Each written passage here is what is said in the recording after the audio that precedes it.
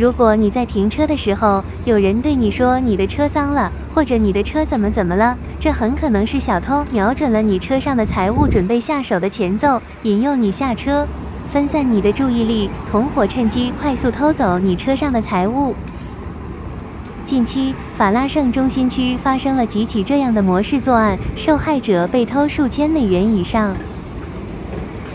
华人王小姐介绍，她前几天在法拉盛中心区。车时，一名西语一敲他的车窗，对他说：“你车子后面全是油。”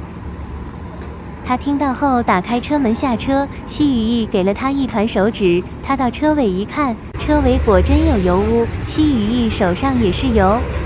只一分钟功夫，当他重新回到车上的时候，发现他放在车上的包包里面有手机、钱包以及车上的所有值钱东西，全部不翼而飞。王小姐说，当时有两三名小偷协同作案，一名小偷引诱他下车查看，是为了转移他的注意力。在他的注意力分散时，另一名小偷马上打开车门，偷走了他车上的东西，动作非常快，前后只有一分钟时间。今年九月，另一名华人在法拉盛中心区缅街上也遇到了同样作案手法的偷盗。华人张小姐当时从法拉盛大通银行取了两千八百美元，她的车停在银行的旁边，她上车后顺手把钱放在了驾驶座位旁边放杯子的地方，正准备启动车辆离开。这时，一名西语裔敲他的车窗，对他说：“你的车这个地方很脏，叫他下车。”他下车后想看看到底哪里脏了。就在这时，他刚从银行取出来的钱，一眨眼就没了。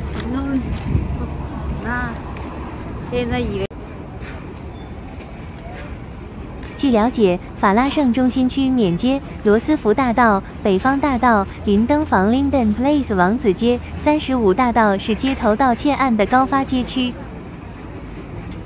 王小姐表示，他后悔自己当时下车了，以后他会吸取教训。发生这种情况就是遇到小偷了，不仅不能上当下车，而且要马上警觉，把车门锁好。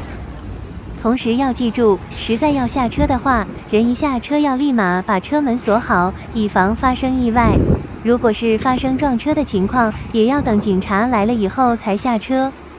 防盗专家、淮安警中负责人高宇全表示，以上发生的敲车窗引诱下车、假装身上开了油的作案方式，是常见的盗窃车内财物的手段，并不新鲜。但是新移民往往是作案的目标，因新移民缺乏经验，警惕性不高。如果白人、犹太人遇到这种事情，他们一般不会上当，一听就知道对方想干什么，都知道这是作案的前奏套路。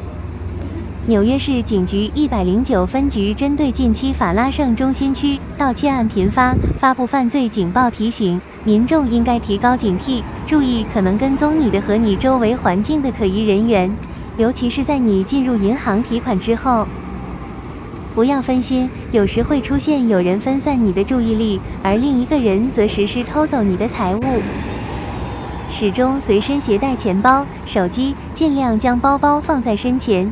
在吃饭、工作或购物时，勿让财物无人看管。更多预防犯罪信息，可拨打幺零九分局预防犯罪中心电话：九幺七八六三二八幺五。